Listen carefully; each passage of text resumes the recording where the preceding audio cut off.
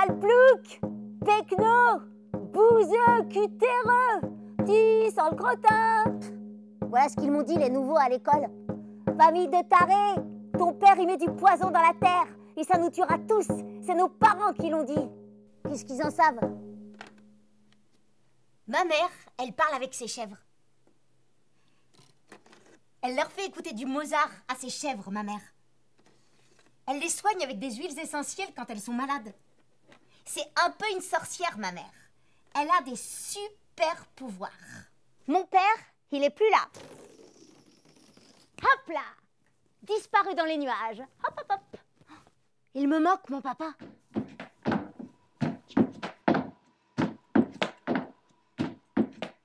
Mais qu'est-ce que ça peut leur faire que mes parents soient agriculteurs? En plus, c'est super bien agriculteur puisque tu nourris les gens.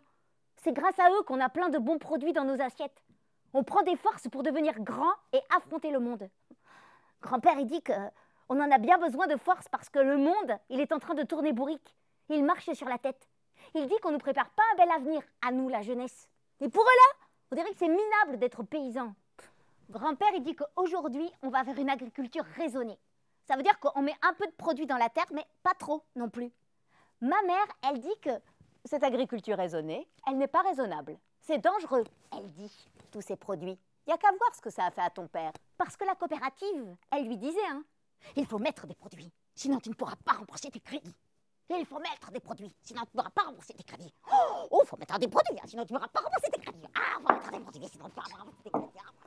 Être à fleur de peau, c'est être hypersensible. Ça, c'est joli. Poétique, je trouve.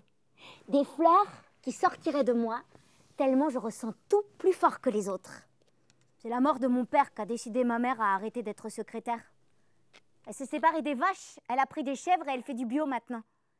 Elle a enfin décidé d'écouter la petite voix à l'intérieur qui lui dicte ce qui est juste. Mon père aussi, il a essayé d'écouter cette petite voix à l'intérieur. Mais il y en avait une plus forte à l'extérieur qui parlait fort, qui donnait des ordres. C'était la voix de la politique des supermarchés. Quelque chose comme ça, j'ai pas tout compris.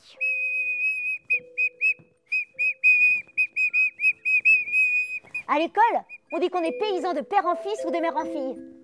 Eh ben moi, j'ai pas encore décidé.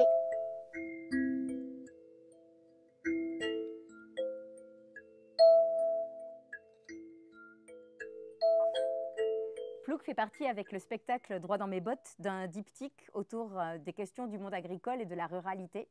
Mais si Droit dans mes bottes est vu à hauteur d'adulte, Plouc est perçu à hauteur d'enfant. Les questions sont traitées de façon systémique mais aussi ludique puisque le personnage principal, Mona, est une petite fille de 10 ans qui y joue. Mona donc est très vive, très singulière, elle porte en elle beaucoup de poésie et de philosophie, mais elle se fait chahuter par ses camarades de classe parce qu'elle est différente et parce qu'elle est fille d'agriculteur. Mais elle s'en moque. Elle se raccroche à son amour de la nature, de sa famille, pour tracer son chemin et euh, construire son identité. J'ai privilégié un jeu très physique, organique, euh, pulsionnel et vivant pour casser tout didactisme.